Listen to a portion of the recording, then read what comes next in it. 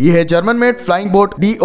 दिखने में किसी एयरक्राफ्ट और शिप के कॉम्बिनेशन वाली इस फ्लाइंग बोट को जर्मन कंपनी डोर्नियर के द्वारा 1929 में बनाया गया था उस टाइम में यह सबसे बड़ी और हैवी फ्लाइंग बोट थी इस टाइप की फ्लाइंग बोट्स को इसलिए बनाया गया था क्योंकि उस टाइम में यूरोप और अमेरिका के बीच में ट्रेवल करने के लिए ज्यादा फास्ट ऑप्शन अवेलेबल नहीं थे इसके अलावा बहुत सारी सिटीज में एयरपोर्ट ही नहीं थे जिन पर एयरक्राफ्ट को लैंड कराया जा सके वही इस तरह की फ्लाइंग बोट्स को समुद्र में और यहाँ तक की छोटी लेक्स में भी लैंड कराया जा सकता था जो की काफी कन्वीनियंट था इस फ्लाइंग बोट की मैक्सिमम स्पीड केवल दो 140 किलोमीटर पर आवर की थी और इस सरफेस से केवल तीन किलोमीटर ऊपर तक ही उड़ सकती थी इस तरह की केवल तीन फ्लाइंग शिप्स को बनाया गया था इसने अपनी आखिरी फ्लाइट 1939 में ली